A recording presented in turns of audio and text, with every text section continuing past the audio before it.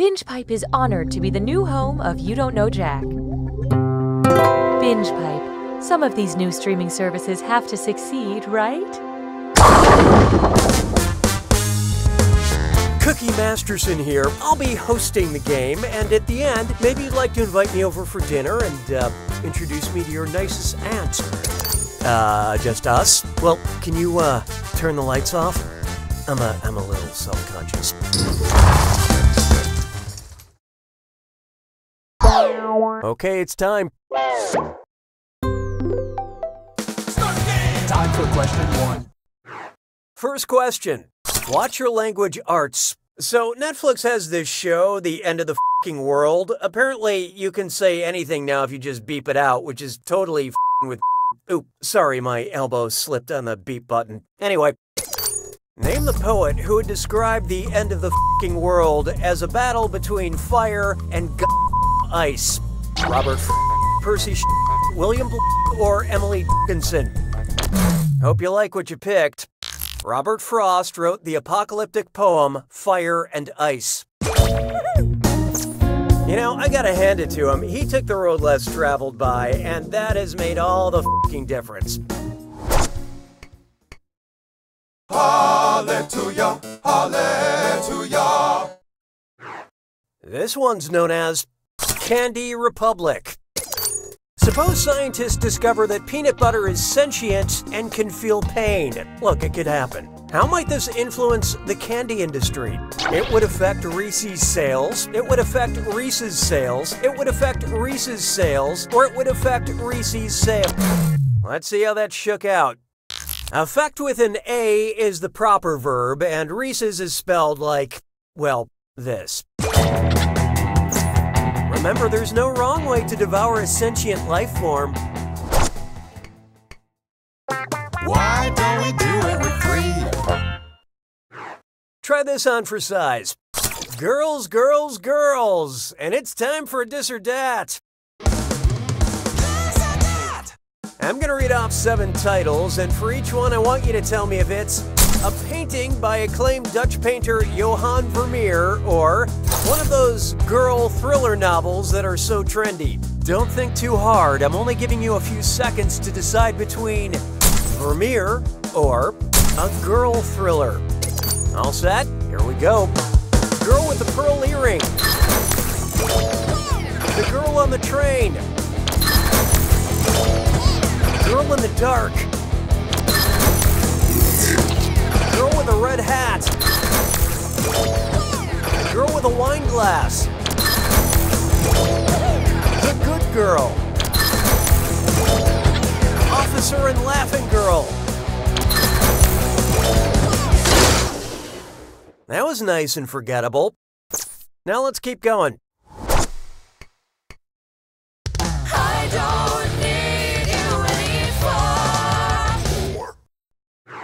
It's time for What to Enjoy. Oh, that sounds gross. Oh, wait. Binge Pipe recommends.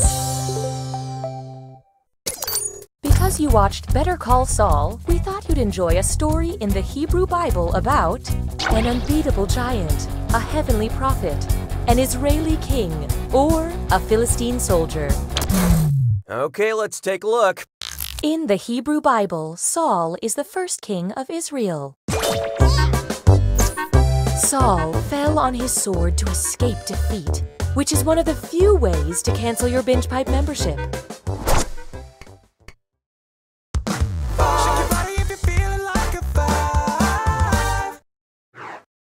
Why not try Dine to get in?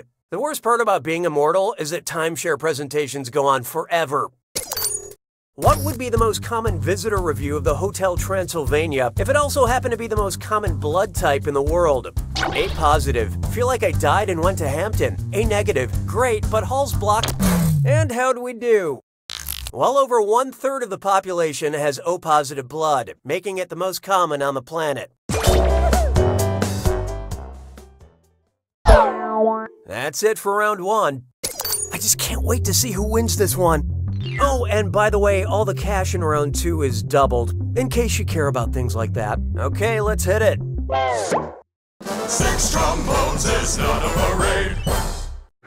Coming up next, Screaming for Merci.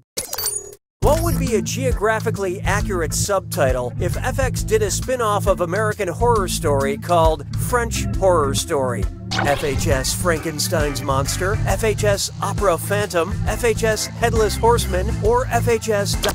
Okay, what'd you pick? The Phantom of the Opera was originally published by French author Gaston Leroux in 1909. I'd watch French Horror Story just in hopes of seeing a haunted bidet. J'ai mangé tous les œufs. Sept. Behold, you can't curse in heaven. If Kristen Bell's character from the sitcom The Good Place read the Pulitzer Prize winning novel The Good Earth, how would she likely describe it? It's about forking Chinese farmers. It's some bullshit set on a rocket ship. It follows an ash hole through the American Revolution. Or the French ghost is a total bench. I love this part. Pearl S. Buck's 1931 novel The Good Earth takes place in turn of the century China.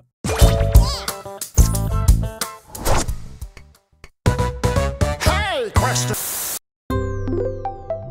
We'd like to initiate a moment of playful interactivity.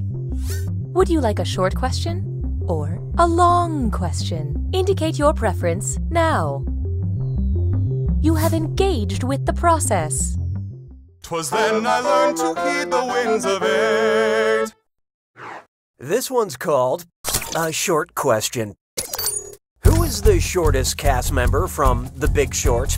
Ryan Gosling, Brad Pitt, Steve Carell, or Selena Gomez?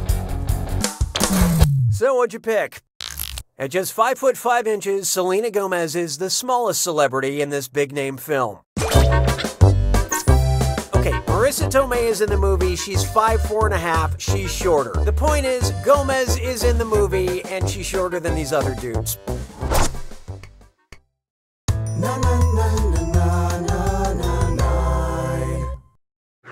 Take a good look at.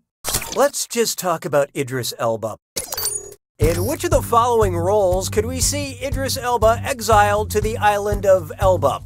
Idris Elba as the world's coolest Napoleon Bonaparte? Let's see how that shook out.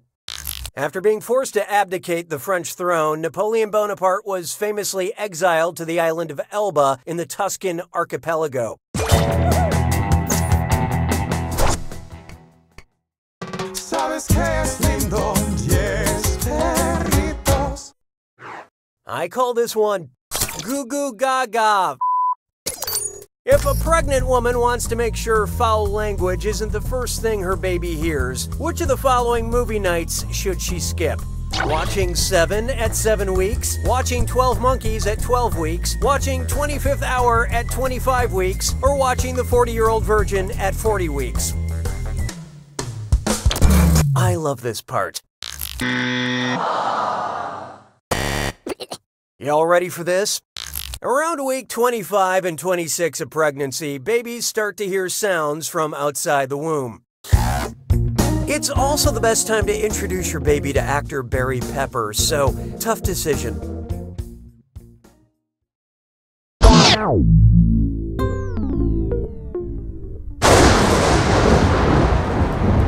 It's time. Well, don't mind me then. Here's your clue. Made by a beautiful partnership. Try to remember what things these duos produced.